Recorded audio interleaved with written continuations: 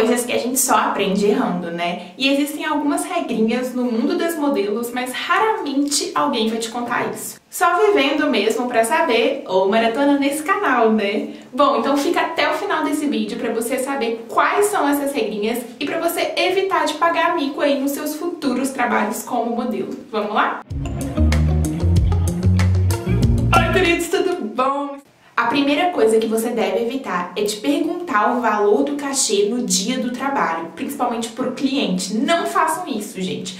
Se você for uma modelo agenciada, provavelmente o seu booker já vai te falar o valor desse trabalho antes de você fazer. E se você for um modelo freelancer, esse valor ele deve ser estipulado antes de você realizar o trabalho. Então, no dia, não pergunta valor de nada, tá bom? Evita passar essa vergonha aí, mulher. A segunda coisa é que se você for selecionada para um trabalho e você tem mais de 18 anos, não leva os seus pais com você. Por favor, não leva seus pais, não leva amigo, não leva acompanhante, não leva namorado, não leva cachorro, não leva ninguém. Vai você sozinho, o trabalho é seu, a responsabilidade é totalmente sua, tá bom?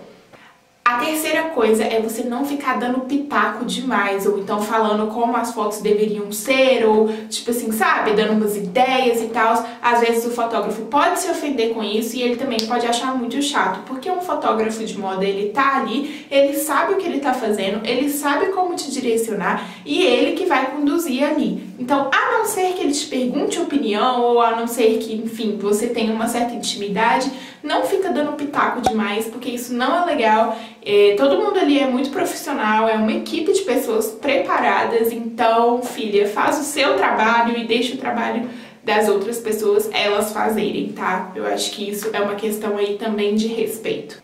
A quarta coisa é que em um desfile de moda não sorria a não ser que seja solicitado. É muito estranho se você chegar lá na passarela e começar a desfilar sorrindo, sendo que as outras modelos não estão sorrindo, elas estão desfilando sérias. Geralmente os desfiles a gente desfila com uma, um rosto mais sério mesmo, sabe? Não é muito de sorrir, assim, a não ser mesmo que seja um outro desfile mais diferente e que as pessoas te peçam pra sorrir. Aí você sorria.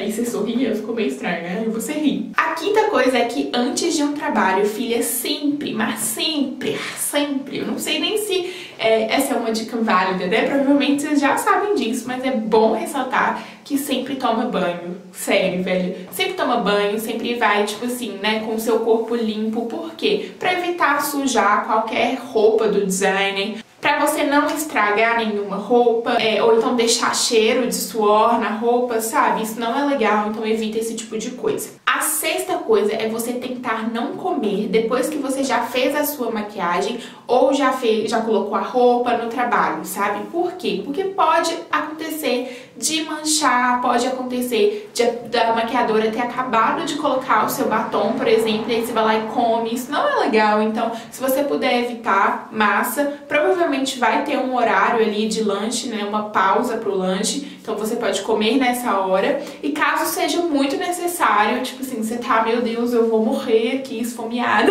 E aí você pode perguntar também, né, pra maquiadora ou pra equipe se você pode comer e tal.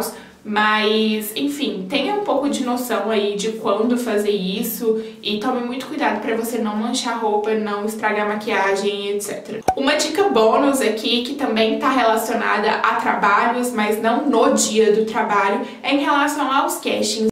Eu já vi muitas modelos, tipo, mandando várias mensagens pra Booker, perguntando se passou em casting e tal. Gente, não faça isso. Se você tiver sido selecionada para o trabalho, se você tiver passado no casting, o seu Booker vai te avisar. Não precisa de você ficar perguntando toda hora, tá bom, querida? Isso às vezes pode ser meio chato, sabe?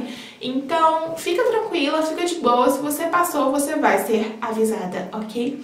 E se você gosta desse tipo de conteúdo, não deixe de se inscrever nesse canal, deixar um like no vídeo, ativar as notifications. E até o próximo